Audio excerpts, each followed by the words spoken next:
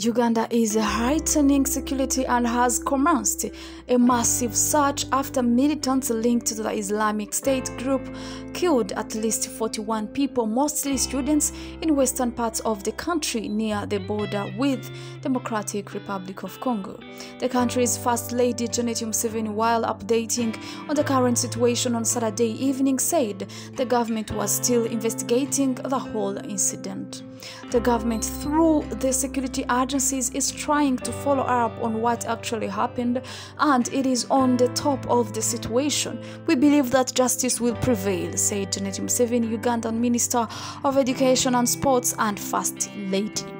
Officials and witnesses said guns and knives were used in a grisly late night assault and dormitories were set ablaze at Lhubiriha Secondary School in Mpondwe. Some students recounted the incident, terming it horrific, and they said, We hadn't yet fallen asleep when we heard people arriving and saying, Open up, open up. We didn't reply. Then they started shooting and the, at the windows and the doors. We went to hide under our beds on the floor.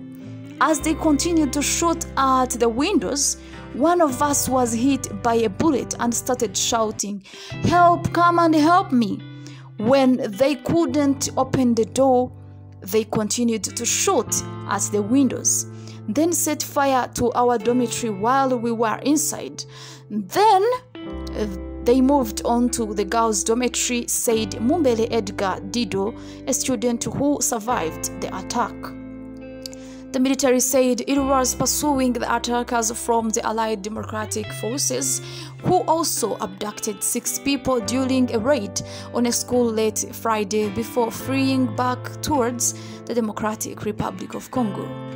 UN Secretary General Antonio Guterres strongly condemns the attack and sent his heartfelt condolences to the families of the victims, his spokesman said Saturday.